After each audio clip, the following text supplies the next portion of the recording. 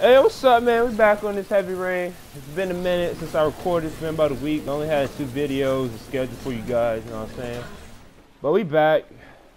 Last episode, I'm not about to explain it. If you ain't see it, go watch it. I wanted to edit it out, but I ain't had time to do all that, and I'm lucky YouTube didn't strike me for that or anything. So, yeah. Anyways, let's get back to it. Uploads. I was supposed to upload yesterday, but things happened. I don't know. What was it? A lot of people outside my house? When the parents came home from church, all their children were gone. They searched and called for them, they cried and begged, but it was all to no avail. The children have never been seen again. They all up in this man business. What in the world? Like, geez, the man's son missing and all these people outside his house?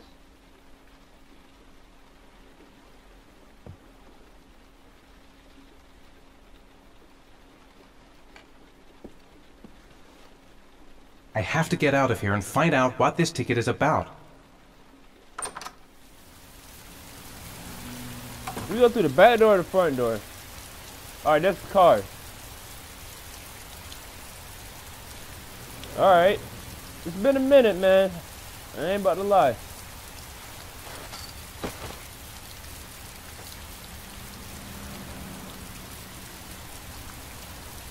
Why does this man walk like this, dog?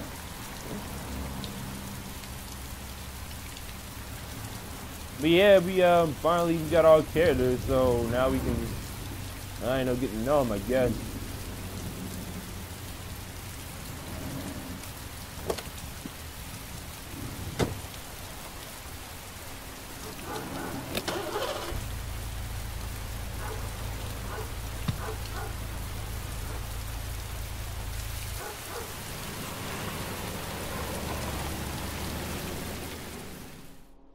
Okay, I'm assuming that we could have ran into all those people, but we did it.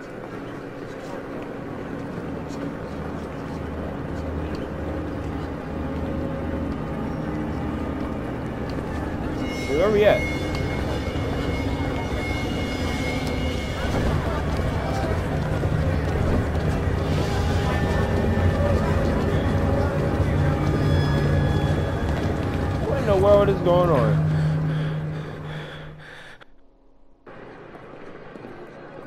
Gonna, gonna have to make it through the crowd.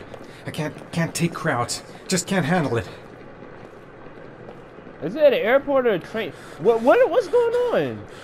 Y'all just to throw us in all these places, but I don't know what's going on.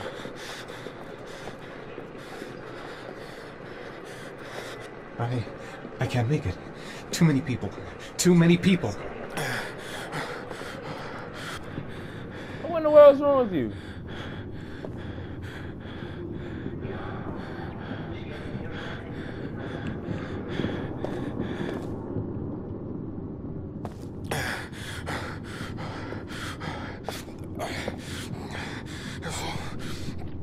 They gonna notice you acting weird.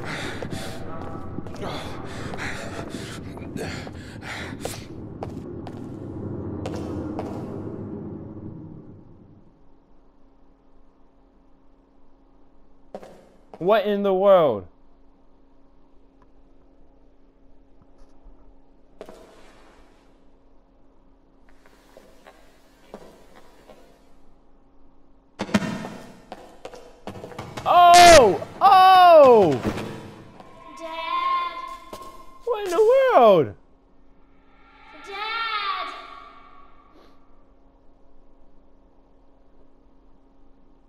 We is not about to do this.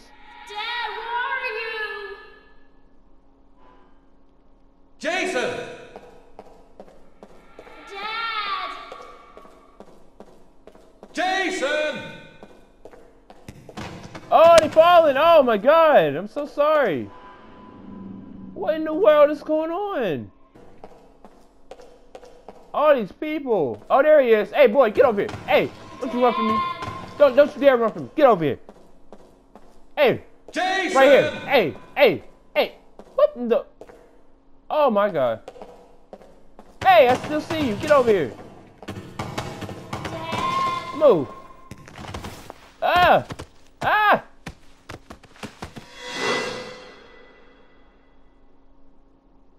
These people obviously think this man crazy.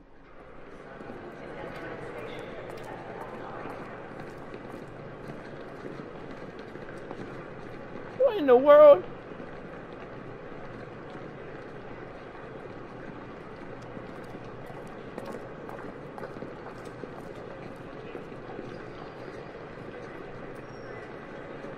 Luggage lockers.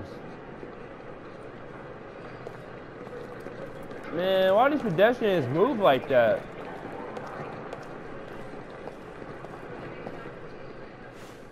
Line 18, box number 3.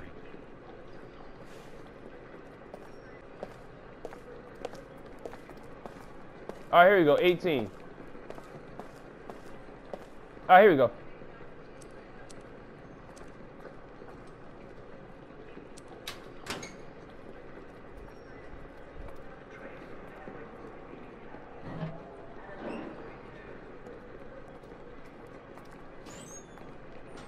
It's a shoebox.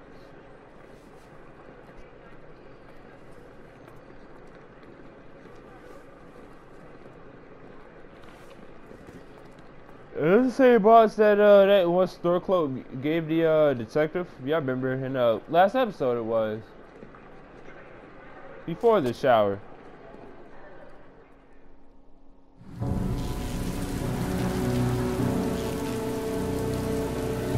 Speaking of which, are we at a detective again? Oh, that's oh.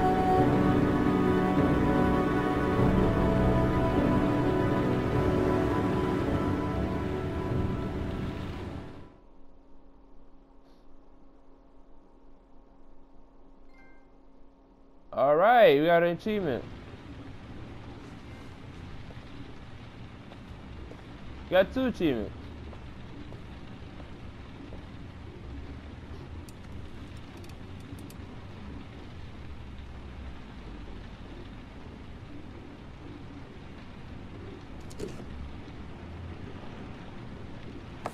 Uh. All right. See here.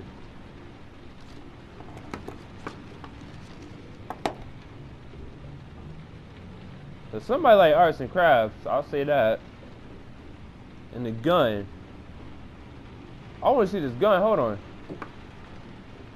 Is it loaded?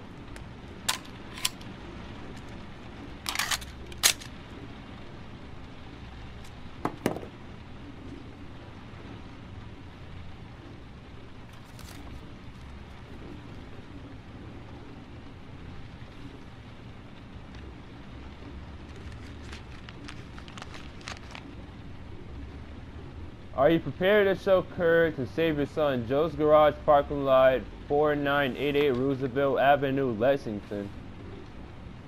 4988, okay. I gotta do all this stuff just to find this boy? Alright, so what does this do? Oh, this right here.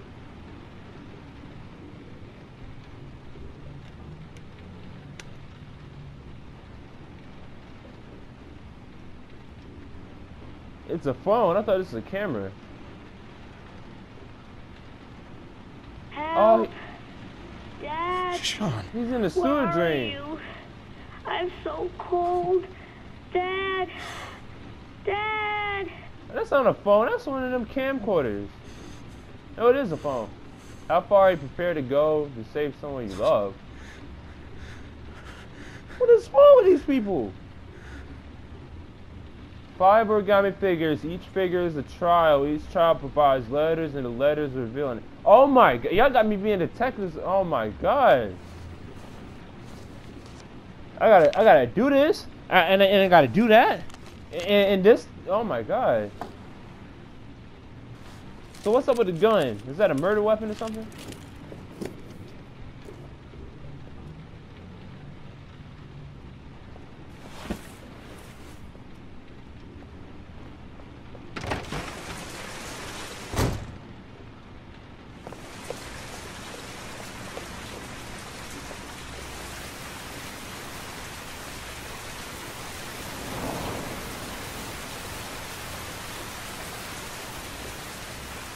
Oh, I was- can't even speak. I wonder what was in that hotel just now. So yeah, I meant to record earlier, but I don't know. I'm, I'm not feeling well. The killer is white, aged between 30 and 45. He doesn't act on impulse, but plans his crimes in a very meticulous fashion. He doesn't have anything personal against the victims. That's why he covers their faces with mud, to make them anonymous. Why does he kill them if he doesn't have anything against them? For him, they're more of an image, a symbol. That's probably why he gives them an origami figure and an orchid as gifts to apologize for what he's done to them. Very interesting. And where does all that get us? aggressive. It builds up a profile of the killer and helps us understand the person we're looking for. It might have been useful if it was done earlier in this investigation. Continue, Jayden. Rainfall geoprofiling. The, the rainfall. One detail attracted my attention. The interval between the time when a victim disappears and the time when the body is found ranges from three to five days. But the rainfall is always at six inches, give or take 10%. What on earth does that mean? All the victims were drowned in rainwater. The killer kills only in the fall when there is plenty of rain. It could be that he puts them in some sort of well or tank that is open to the skies and that fills up with rainwater. The more it rains, the less time the victim has to live. Then I studied the geographical distribution of the murders. Generally, a killer commits his first murder near to where he lives, so he has a safe place to flee to if any complications arise. The more confident he becomes, the further he roams from his base. By analyzing the locations where the victims disappeared, I was able to isolate a zone where the killer might live. And, what size is this, uh, zone? For the moment, about 10 square mile. Ah, great. There must be 10,000 people live in that sort of area. You gonna question them one by one? No. It may not give us the address of the killer, but at least it's something to go on. Blake, if you've got a better plan, I'm willing to listen. Don't be shy. I'm all ears. So what's next? There are two suspects whose psychological profile might fit and can be connected to the comfort zone. I'd like to question them. God damn it. We're wasting our time with this bullshit. The killer's out there somewhere. We gotta get off our asses and find him. Go for him. Blake, I've had just about enough of your shit. You've been chasing this guy for what? Two years? And what are you caught, huh? Nothing. Oh my God, Absolutely I mean- nothing. What, you think you can do a better fucking job than me with your psychology degree and your great classes? Well, let me tell you something, pal. That don't mean zip when it comes to getting out there. You're just a fucking bureaucrat. Oh. Go for it. Your vast experience hasn't prevented eight victims from being murdered. Fucking asshole! That's enough! I'm playing bad cop right now. You Aggressive said it took six inches of rainfall before the victim died. Nah, eight inches. How much time do we have left? If the weather forecasts are right, less than 72 hours. That's three days.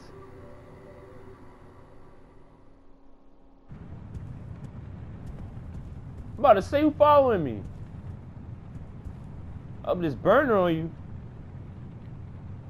Oh.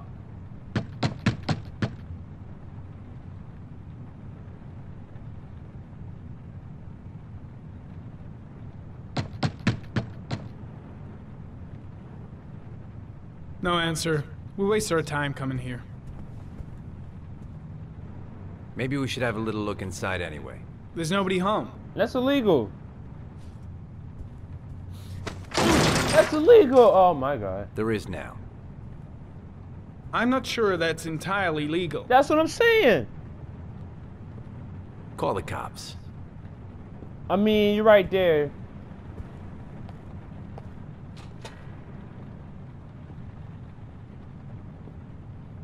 What in the What in the world? Looks like Nathaniel Williams is a pretty religious guy. Free reli- Yeah, He's a take little too God-fearing idiot, waiting for the end of the world. We questioned him a few months back because he was causing a disturbance in the park. He was ranting and raving. Said he heard voices. Had this idea in his sick little head that I was the Antichrist. I'd come to Earth to persecute him. Real twist. Oh, he a medicine. No wonder.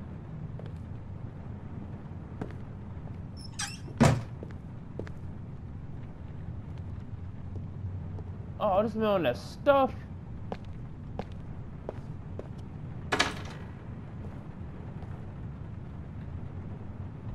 Oh, his bathroom dirty.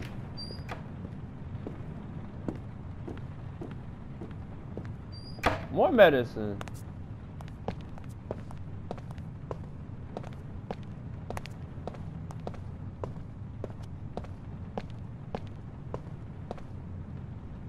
More medicine. This man house dirty.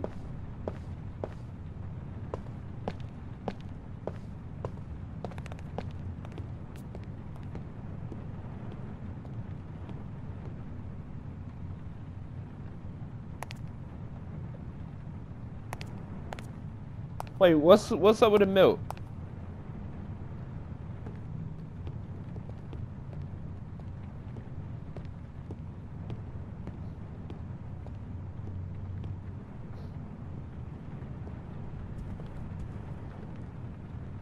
Candles are still lit.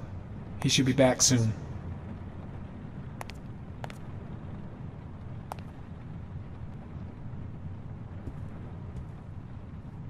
Uh oh.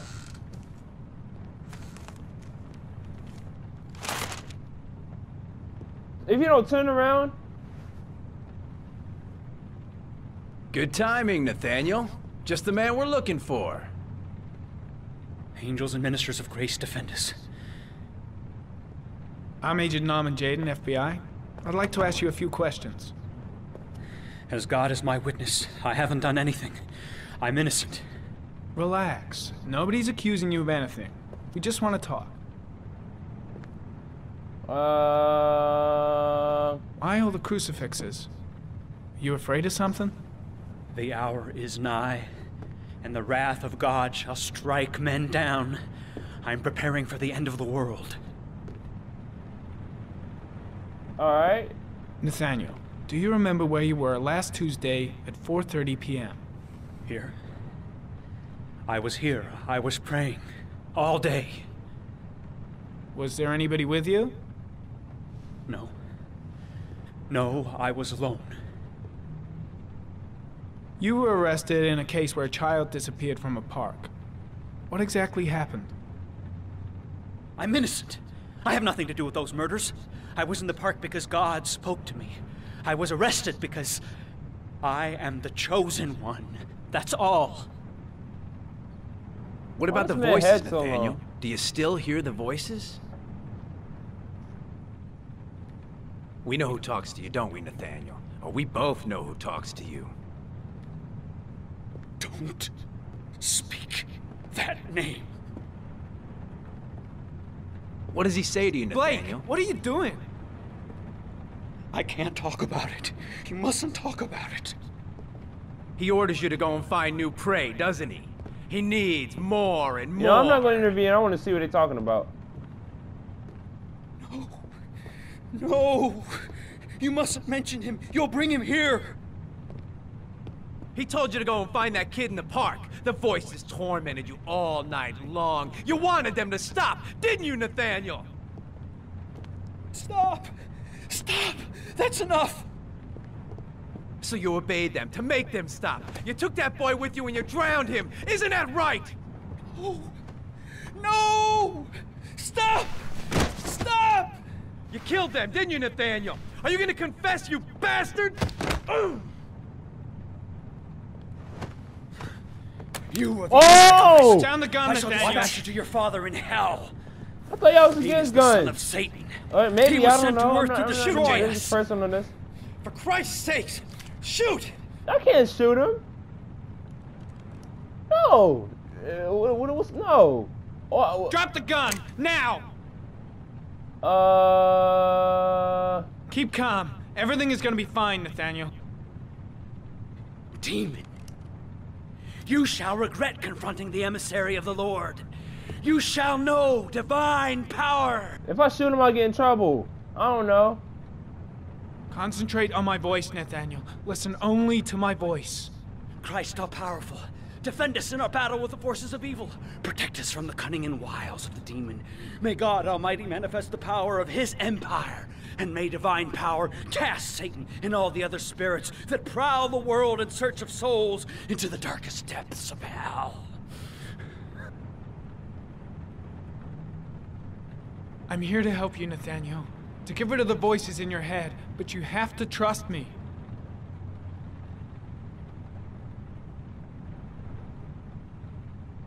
Ah! Back away, slowly.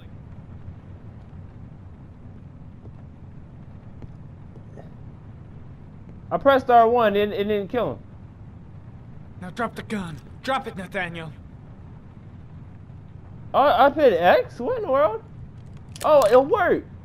The reason it worked, I didn't have to shoot him. Put your hands on your See, head. that's how you peacefully take down somebody who's pointing a gun at you. Turn around. See? Motherfucker! What in the world? In the name of the Lord, I exorcise thee, Satan. What in the world? Okay, freak, the show's over. You're under arrest. Pretty damn cool under the circumstances. I would have just shot him.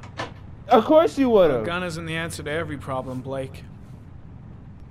Maybe not, but most of the time it helps. I actually pressed R1, but I, I think like I was moving when I pressed it, so I pressed X. If that makes sense. So yeah, ba basically, oh my god, what kind of car is that?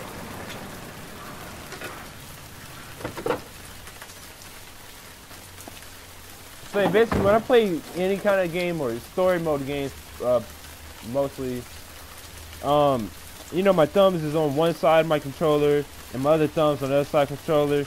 I just got my fingers ready in case I gotta get into a fight, you know, in case I gotta use that joystick, or you know what I'm talking about. So I ain't never lacking, basically. But yeah, man, we gonna wrap it up there, man. Like, subscribe, peace out. Catch y'all next one, man.